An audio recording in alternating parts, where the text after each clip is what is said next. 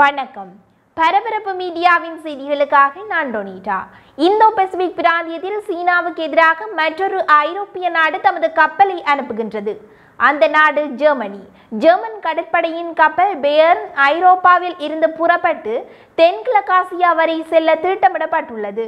Indo Pacific பிராந்தியத்தில் பத்திற்கும் மேற்பட்ட துறைமுகங்களில் இந்த கப்பல் நின்று செல்வதாக திட்டமிடப்பட்டுள்ளது.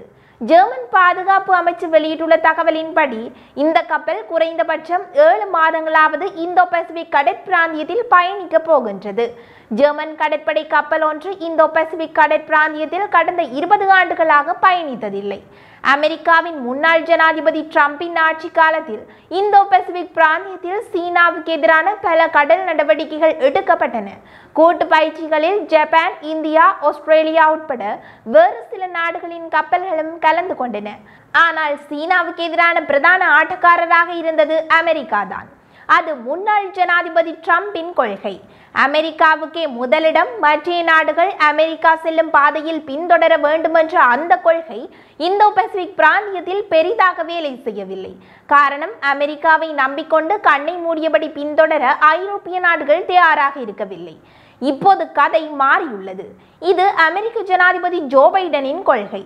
சீனாவுக்கு எதிரான பல நாடுகளின் கூட்டு ராணுவ நடவடிக்கை என்பது இந்த புதிய கொள்கை. இதன் காரணமாகவே இப்போது ஐரோப்பிய நாடுகளின் கப்பல்களை இந்தோ பசிபிக் கடல் பகுதியில் பார்க்கக்கூடியதாக உள்ளது. இந்த ஆண்டின் ஆரம்பத்தில் இருந்து முதலில் பிரெஞ்சு கடற்படையின் அணுசக்தியில் இயங்கும் நீர்மூழ்கி கப்பல் தென் சீன கடற்பகுதிக்குள் சென்றது. அடுத்தபடியாக பிரிட்டனின் விமானம் தாங்கி கப்பலும் அதன் துணை கப்பல்களும் இப்போது தென் சீன கடற்பகுதியில் பயணித்துக் கொண்டிருக்கின்றன. துணை கப்பல்களில் மற்றொரு ஐரோப்பிய நாடான நெதர்லாண்ட்ஸ் கடற்படையின் கப்பலும் இணைந்து பயணிக்கின்றது. அடுத்து வரப்போகின்றது ஜெர்மன் கடற்படையின் பெயர்ன் கப்பல். ஜெர்மனியிலிருந்து புறப்படும் இந்த கப்பல் ஜிபோட்டி கராச்சி ஆகிய அரேபிய கடல் துறைமுகங்களில் முதலில் இடைத்தங்கல் செய்ய போகின்றது. அதன் பின் இந்திய கடலில் டியேகோ கார்சியா ஆஸ்திரேலியாவின் பெர்த் ஆகிய துறைமுகங்களுக்கு செல்கின்றது. அதன் பின் சீனா அதிகம் பயன்படுத்தும் மெலாக்கா நீரிணைக்கு அருகில் உள்ள சிங்கப்பூர் துறைமுகத்துக்கு செல்கின்றது. அங்கிருந்து வியட்நாம் சென்று ஜப்பான் சென்று அமெரிக்காவின் பசிபிக் கடற்படை தளம் குவாம் வரை செல்ல போகின்றது. இந்த கப்பல் சிங்கப்பூரில் இருந்து புறப்பட்ட பின் சீனாவால் உரிமை கோரப்படும் பல கடற்பகுதிகள் ஊடாக பயணிக்க போகின்றது. சீனாவுக்கு எப்போதுமே அந்த கடற்பகுதி ஊடாக இந்த கப்பலும் பயணிப்பது கோபத்தை ஏற்படுத்தும் செயல். அமெரிக்கா பிரிட்டன் பிரான்ஸ் ஆகிய மூன்று நாடுகளும் தென் சீன கடற்பகுதிக்கு தமது கப்பல்களை அனுப்பிய போது செய்யாத ஒரு தந்திரமான காரியத்தை ஜெர்மனி செய்தது.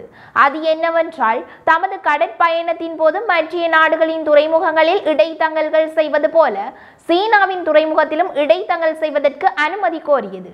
சிங்கப்பூரில் இருந்து புறப்பட்ட பின் சீனாவின் ஷங்காய் துறைமுகத்துக்கு சென்று சில தினங்கள் தங்கிவிட்டு தென் சீன கடலில் பயணிக்க அனுமதி கோரியது ஜெர்மன் பாதுகாப்பு அமைச்சு.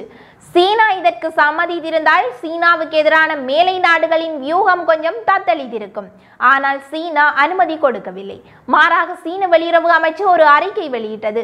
அதில் ஜெர்மன் கடற்படை கப்பல் தென் சீன கடற்பகுதியில் நடமாடுவது இந்த கடற்பகுதியில் உள்ள அமைதியை குலைக்கும் செயலாக உள்ளது. இதை நாம் அனுமதிக்க முடியாது.